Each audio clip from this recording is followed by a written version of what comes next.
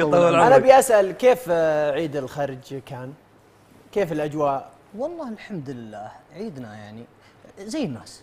أكيد إنه زي الناس. ولكن في طقوس معينة عندكم؟ أكيد. تجمع الأحباب ونودي الذبايح للمشغل. ال- ال- المصلغه قصدك؟ للمشغل. المشغل؟ نعم. قبل ما نذبحها. نسوي لها بوديكير منيكير بعدين نوديها للمزرعة. نعم. المزرعة؟ بعدين المزرعة.